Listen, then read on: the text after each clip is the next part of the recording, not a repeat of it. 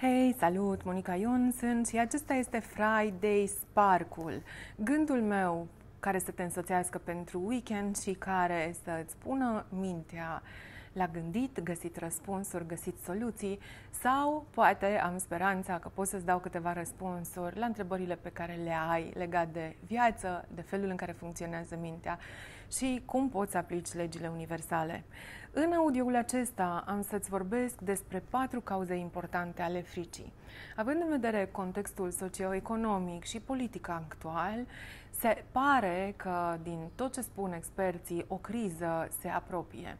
Și în contextul acesta, de multe ori mintea tinde să fie blocată, să nu știe cum să răspundă, pentru că intră într-un freeze response generat de frică. În acest audio am să spun care sunt cele patru cauze ale fricii. 1. Lipsa de planificare. Lipsa de planificare înseamnă că percepi că urmează o amenințare și nu ți-ai făcut temele pentru amenințarea respectivă. Spre exemplu, vine o criză financiară și tu nu ai un plan de ce se întâmplă dacă vine criza financiară.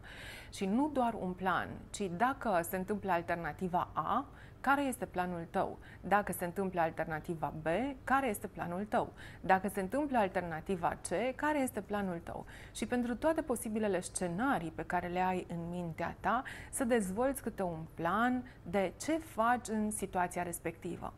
Dacă ești un pic mai avansat cu gestionarea situațiilor de criză sau a fricii, pe lângă planul acesta, îți vei lua și niște repere, niște indicatori care o să-ți spună care este direcția către care merg lucrurile.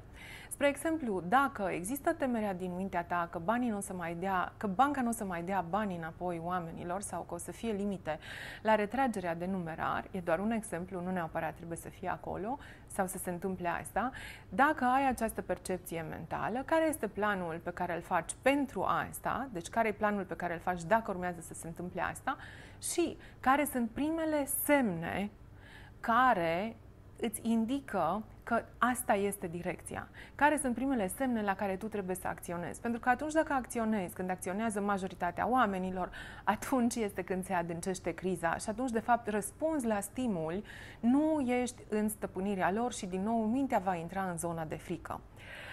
A doua cauza a fricii sunt experiențele din trecut în care ai perceput că ai experimentat mai multă durere decât plăcere și astăzi mintea ta are o teamă, exprime o teamă în a experimenta situații similare, în a avea aceeași durere pe care ai experimentat-o în trecut. Spre exemplu, dacă ai pățit în trecut că ți-ai pierdut business-ul sau ai pierdut un client important sau ai pierdut niște oameni importanți din echipă și estimezi că acest lucru se poate întâmpla, te temi astăzi pentru că vei putea experimenta acea durere din trecut pe care n-ai echilibrat-o. Teama de astăzi nu neapărat se bazează pe ce se întâmplă astăzi, ci pe faptul că informația neechilibrată de mai mult minus decât plus, mai multă durere decât plăcere, este în corpul tău. Ce poți să faci în situația asta este să identifici de ce te temi în prezent. Spre exemplu, îți pleacă unul dintre colegii importanți. Când ai experimentat asta și te-a durut cel mai tare și alegi trei momente când ai experimentat în trecut că ai pierdut o resursă importantă, un coleg ți-a plecat, te-ai despărțit de un asociat, orice uh, emoție similară generată de o situație similară din trecut și mergi și echilibrezi situația din trecut răspunzând la trei întrebări. Ce beneficii ai avut în momentul acela și din momentul acela până în prezent, că tu ai experimentat, ai trecut prin acea experiență, respectiv că ți-a plecat colegul. Ce dezavantaje ai fi avut în momentul acela și din momentul acela până în prezent, în valorile tale cele mai înalte, dacă colegul rămânea în echipă. Și al treilea punct, exact în momentul în care percepi pierdere generată de colegul tău, definești în mod specific ce fel de pierdere este și vezi cine face opusul față de tine în același moment. Adică vei aplica sincronicitatea. Legat de pierderea unui coleg, de exemplu, că pleacă din echipa ta, poți să ai mai multe momente de percepție. Poți să ai mai multe momente de percepție legat de pierdere relațională, legat de pierderea competențelor ca resurse, legat de pierderea uh, cuiva care manifestă o trăsătură ce nu ai tu față de echipă. Și vezi de fiecare dată, pentru fiecare moment de percepție, Cine face, una sau mai multe persoane, opusul față de tine în același moment, față de tine sau față de business. Deci a doua cauza a fricii sunt experiențele din trecut neechilibrate. Prima parte de echilibrare este să mergi în trecut să echilibrezi durerile. Apoi, al doilea pas este să rămâi în prezent și să echilibrezi amenințările percepute din prezent. Aici, odată că îți vei pune întrebarea ce beneficii ai dacă pleacă colegul de care ți-e teamă să pleci, ce dezavantaje ai avea dacă ar rămâne în echipă, și, nu doar atât, vei face și un plan de contingență. Adică vei avea un plan de backup ce se întâmplă dacă pleacă colegul. După ce vei fi făcut toate aceste echilibrări, îți sugerez dacă poți să ai o discuție cu colegul, să o ai și să ai un deal cu el, să vezi ce se întâmplă, în așa fel încât să elimini frica complet, dar nu numai acum, ci și din trecut, în așa fel încât să nu-ți mai fie teamă să uh, pui piciorul în prag, să iei decizii, să, să nu-ți mai fie teamă să plece un coleg din echipă. Desigur, plecarea unui coleg din echipă este doar un exemplu. Poate să fie orice experiență din trecut pe care ai, pe care ai avut-o. Poate să fie, de exemplu, și faptul că ți-e teamă acum că o să pierzi businessul, mergi în momente din trecut în care ai pierdut businessul. Ți-e teamă acum că o să pierzi bani, mergi în momente din trecut în care ai pierdut bani sau orice resursă vitală pentru tine. Al treilea motiv pentru care există frica este um, datorită atașamentului față de fantezie. Dăm voie să-ți explic ce înseamnă asta.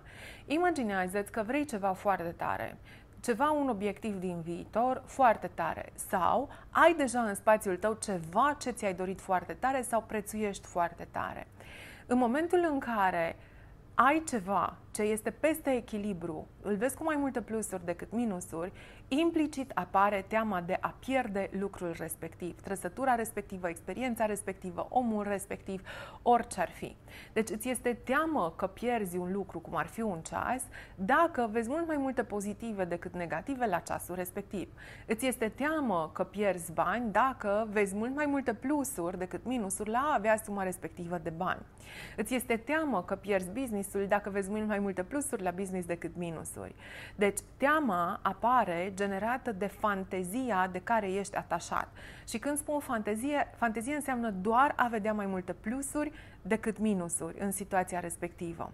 Și atunci, ce poți să faci Um, este să vezi și dezavantajele acelui lucru pe care îl prețuiești, minusurile. Fantezia, cum spuneam, înseamnă să vezi mai multe plusuri decât minusuri. Să luăm exemplu ceasului. Îți este teamă că vei pierde un ceas. Ești atașat sau atașată de ceasul respectiv, a fost extrem de important pentru tine, are o anumită semnificație. Și vei vedea ce dezavantaje are ceasul ăla, până la nivelul la care vei găsi dezavantaje în mod egal cu beneficiile pentru ceasul respectiv. Pentru că tu porți ceasul respectiv, tu folosești ceasul respectiv, pentru ce îți dă ceasul respectiv ca statut, ca imagine și așa mai departe. Și vei găsi o serie de dezavantaje pentru ceas până ajungi la echilibru și până vezi că acel lucru sau acea persoană are plusuri în mod egal cu minusurile. La fel e și exemplul de ți-e teamă că pierzi un coleg sau ți-e teamă că pierzi un client. Să zicem că ți este teamă că pierzi un client. Vezi mult mai multe plusuri în a avea clientul respectiv decât minusuri. În situația asta vei găsi care sunt minusurile colaboră- colaborării tale cu clientul respectiv, vezi care sunt minusurile trăsăturilor admirate la client. Minusurile trăsăturilor admirate la client poate să fie plătește întotdeauna la timp. Ce dezavantaje ai tu că plătește întotdeauna la timp? E un exemplu. Minusurile colaborării poate să fie ce dezavantaje ai tu că colaborezi cu acest client în business și în valorile tale cele mai înalte. Gândește-te un pic că judecata aceasta de a vedea mai multe plusuri decât minusuri la un lucru, obiect, experiență de care ești atașat, este foarte mult dată de percepția dezechilibrată de multe plusuri fără minusuri. Asta duce la o judecată alb-negru. Vezi mai mult alb decât vezi negru. În momentul în care vezi mai multe plusuri decât minusuri, se declanșează uh, teama de supraviețuire, pentru că ți-e team, teama de, da, se declanșează nevoia de supraviețuire, instinctul de supraviețuire, pentru că vezi că ar durea foarte tare, ai avea nu numai dezavantaje dacă ai pierde lucrul respectiv. Deci, pur și simplu, mintea intră într-un mod de supraviețuire atunci când ești prea atașat de anumite lucruri. A treia cauza a fricii este modelul minții și a corpului, este modul minții și al corpului, pardon. Deci a treia cauză a fricii este modul minții și a corpului de a-ți spune că ai obiective care nu sunt aliniate cu valorile tale și nu stăpânești un domeniu anume. Deci, în momentul în care tu stabilești obiective care nu sunt aliniate cu valorile tale, ai incertitudine. În, obiective, în valorile tale cele mai înalte, ai certitudine. În valorile tale joase, nu ai certitudine. Și atunci, corpul și mintea creează frica doar ca să-ți atragă atenția că nu e în valorile tale cele mai înalte, că nu stăpânești domeniul respectiv, că nu știi exact ce să faci, nu știi care sunt informațiile uh, pe care trebuie să le obții ca să poți să faci față în situația respectivă. Deci, e doar un simptom al minții și al corpului că ai stabilit obiective care nu sunt aliniate cu valorile tale. Să luăm exemplul banilor. Să zicem că banii nu sunt în valorile tale, dar ai un business care înflorește, care crește. Și ai o teamă legată de bani.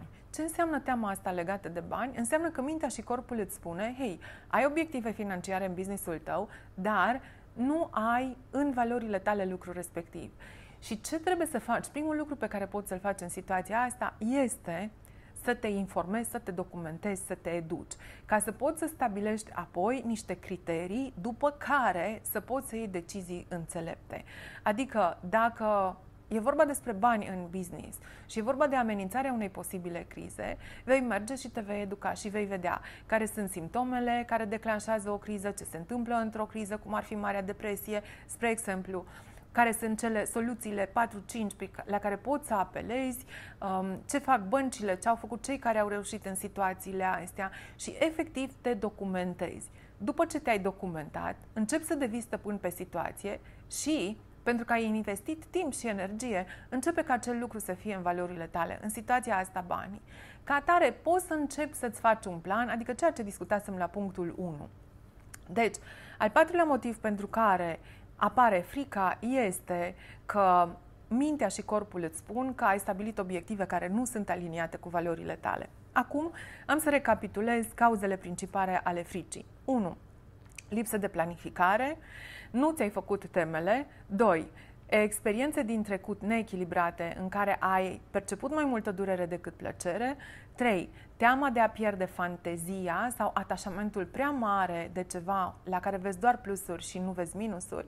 Și patrul, modalitatea minții și a corpului de a-ți spune că faci lucruri care nu sunt aliniate cu tine. Bun, spunem te rog frumos dacă te gândești la o situație specifică legat de care ai frică acum, care dintre cauze percep că este cauza principală. Îți mulțumesc frumos că m-ai ascultat!